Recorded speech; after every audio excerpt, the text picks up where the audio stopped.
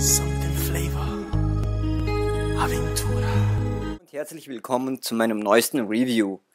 Heute stelle ich euch das Tool Doggers vor. Doggers ist eine Applikation, mit dem ihr ganz viel mit eurem Dog anstellen könnt. Ja, und was genau, das zeige ich euch jetzt. Gut, das ist die Programmoberfläche von Doggers. Sie ist in fünf Kategorien eingeteilt. Hier haben wir Styles and Colors, Settings, Stacks and Spacers, Kiosk Settings, Setting Locks und Dogger. Gut, wir gehen das Ganze Schritt für Schritt jetzt einmal durch. Hier bei Dog Style könnt ihr einstellen, ob ihr das 2D-Dog von Leopard haben wollt oder das 3D-Dog, so wie wir es alle kennen. Wir klicken jetzt hier einmal auf 2D, Apply und wie ihr gleich sehen werdet, haben wir das 2D-Dog, wie wir es früher kennen, also von früher noch kennen. Gut, aber da ich das 3D-Dog bevorzuge, stelle ich es gleich wieder um und habe mein, hier mein heißgeliebtes 3D-Dog wieder. Hier könnt ihr einstellen, ob die, ja, die ausgeblendet, ausgeblendeten Programme ja, so durchsichtig scheinen sollen. Wie das aussieht, zeige ich euch jetzt. So, wenn wir jetzt auf Ausblenden gehen, könnt ihr sehen, Tweety ja scheint so durchsichtig. Gut, finde ich sehr gut, weil so sieht man gleich alle Programme, die ausgeblendet sind, ja, und man kann es einfacher trennen. Gut, hier weiter unten ne, habt ihr die jeweiligen Einstellungen. Hier sind die Einstellungen fürs 2D-Dock und hier habt ihr die Einstellungen fürs 3D-Dock.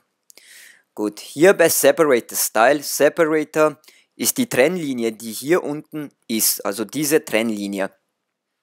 Wenn wir jetzt hier einmal zum Beispiel auf Blank klicken, werdet ihr gleich sehen, dass die Trennlinie weg ist, also man sie nicht mehr sieht. Sie ist zwar noch da, aber man sieht sie nur nicht mehr. Weiter drunter habt ihr, ja, hier habt ihr jetzt zum Beispiel ähm, Plane with Reflection. Das heißt, ob wir, also es geht um die Spiegelungen. Wenn einem zum Beispiel die Spiegelungen nicht gefallen, klickt ihr hier auf Plane, No Reflection. Ja, und dann sind die Spiegelungen weg. Das Ganze schaut so aus. Und ihr seht schon, das Dog ist komplett schwarz und es gibt überhaupt keine Spiegelungen mehr. Gut, gehen wir weiter auf Settings.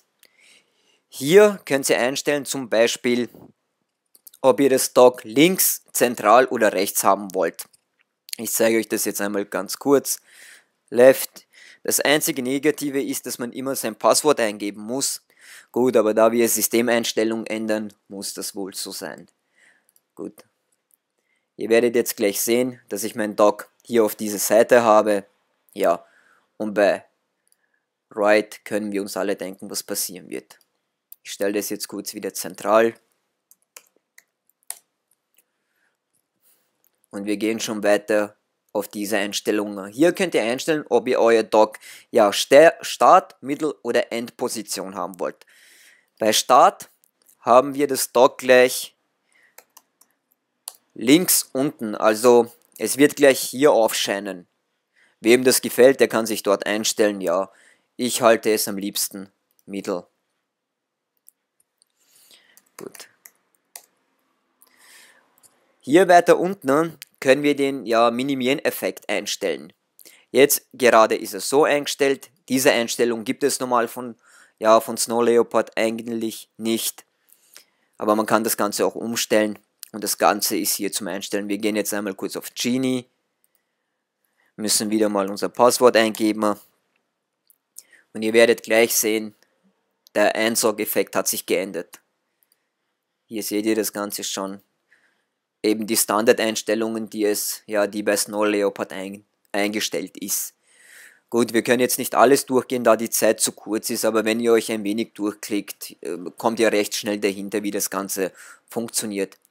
So, jetzt gehen wir auf Stacks und Spacers. Stacks, ich zeige euch das am besten. Wir klicken jetzt hier kurz einmal auf Stack. Und wie ihr, wie ihr hier jetzt sehen könnt, habe ich hier nochmal immer meinen Programmordner, meinen Download-Ordner und hier habe ich jetzt einen dritten Ordner. Wenn wir jetzt kurz draufklicken, sehen wir alle Applikationen, ja, die ich zuletzt verwendet habe. wer das haben will und wer schnell immer auf die zuletzt genutzten Tools greifen will, kann das hier mit AdStack einstellen. Wenn ihr das Ganze nicht mehr haben wollt, nehmt ihr das Ganze und ja, zieht es einfach aus dem Dock hinaus. Gut, Spacers, ja, Spacers sind ähm, Trennlinien, also Lücken, die man sich einfügen kann. Das Ganze zeige ich euch auch gleich. Also so einfach, wie es hier geht, habe ich noch nirgends gesehen. Normalerweise, ich kenne es nur übers Terminal mit einem speziellen Code. Ja, da kann man die Spaces einfügen. Hier geht das Ganze um einiges einfacher. Man drückt einfach Add Spacer und hier können wir schon sehen, hier haben wir eine Lücke.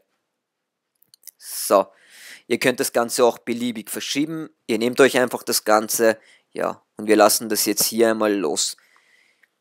Ihr könnt so viele Spacer reintun, wie ihr haben wollt. Das einzige, ihr müsst ab und zu zweimal klicken. Ja, und hier haben wir auch schon unseren nächsten Spacer. Das könnt ihr genauso nehmen, ja, verschieben, wie ihr es möchtet. Gut, ja, jetzt haben wir die meisten Einstellungen schon eigentlich durch. Hier bei denen sind die Haupteinstellungen, hier kann man auch noch ein paar Sachen einstellen. Ja, aber die Zeit reicht leider nicht und ich möchte nicht, dass das Ganze zu lang wird. Und daher Klickt euch ein wenig durch, es ist ziemlich einfach und selbsterklärend. Hier könnt ihr noch spenden, wenn ihr wollt. Müsst auf den Donate-Button gehen, ja, und könnt eine Spende machen. Wo es das Ganze zum Runterladen gibt, zeige ich euch auch noch schnell. Das Ganze gibt es bei www.blogsoft.net. Den Link packe ich euch natürlich in die Videobeschreibung. Ja, und von dort holt ihr euch das Ganze und installiert es, wie ihr es ja immer installiert, eure Tools. Gut, das war es auch schon wieder im Großen und Ganzen. Falls euch mein Review gefallen hat, würde ich mich freuen, wenn ihr Kommentare schreibt, bewertet, ja, mich weiterempfehlt oder abonniert. Am besten beides. Gut, bis demnächst, ja. Euer Max Styler. Tschüss.